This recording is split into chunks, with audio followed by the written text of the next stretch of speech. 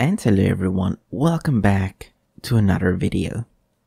So in this video, I would like to give a little bit of a shout out to this new Kitsu app that is busy being developed.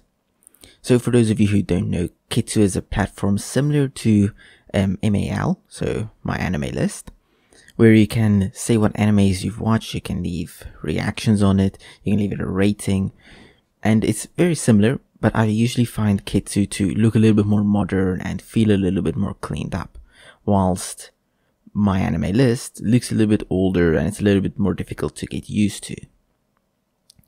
But for those of you who do use Kitsu, you may know that the Kitsu app, especially on Android, absolutely sucks. It's buggy, it's slow, it's just everything you don't want from the app.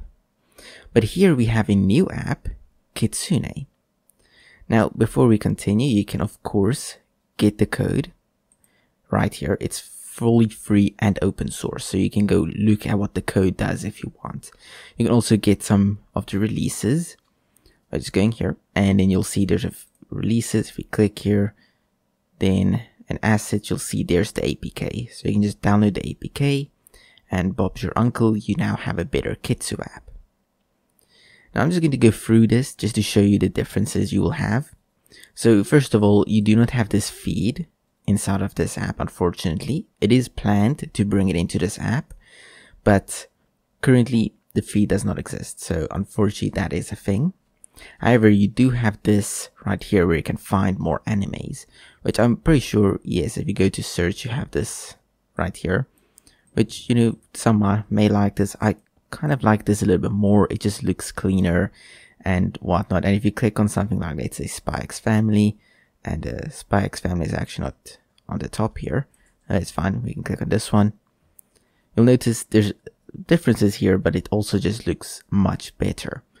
So here you can see I've completed it. I can add this to library. If I click here, that will pop up. If I click here, this will pop up. You can see everything just looks better. And in general, everything just works better as well. Currently, you can see the ratings here, but you cannot see the reactions or leave any comments. Posting is not yet available on here, but unless you post a lot, this app is still pretty good.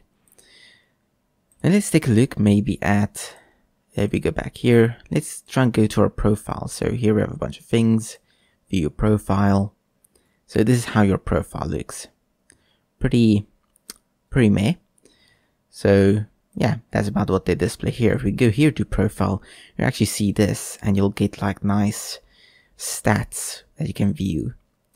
And here you can see all the favorite animes. Of course, yeah, here you can't actually see the favorite animes. You have to probably go and click on each of these individually.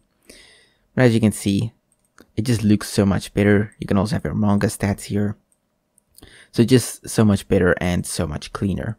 And also everything is right here, so you don't have to click here, go view profile, and then you have to click back. You can just click here. The navigation is just here at the bottom. And of course for searching, I don't know if the searching will be any better than what it is on Kitsu. We'll just have to see once Kitsu search breaks again, because that is something that generally happens often. So let's search maybe for Misho. That's pretty fast, there it is. Now if you search here, then yeah, it's also actually pretty fast and actually has less results, which is actually, oh, this is just because it's animated. Here we also have the mangas. Okay, so that's interesting. Uh, currently you can't search for users, which is unfortunate, but that's also something that's in the making, so they're planning on making that. And in here, of course, you can post, but currently I don't really have a reason to post and here you cannot post yet. Then here you have your notifications. I don't know if we have the notifications tab here. Probably not because we can anyways not see posts or anything. So that will probably come in the future. And then of course the part that we've probably been waiting for, the anime section. So this would be your library here. As you can see, I personally think this looks much better. It just looks so much cleaner. Here we can filter by just watching and this will show you everything you're reading and watching. You can also specify that maybe you just want to see the mangas. Now you'll only have the mangas. Or you maybe just want to see the animes and now you'll have the animes. Same here. And of course you can go like 1, 2, 3 and I will update 123 and I'll go back. Here you can do the same. So here I could go one and I will update. I'll go back. Very similar. If you were to click here on any of these, it will take you to a profile. Same here. So it will take you to the profile. But it's just something that might be up to you. You might want something that looks a bit better and is generally less buggy. Because even when signing in, I found that Kitsu is rather buggy. It just isn't something I think it's worth it anymore.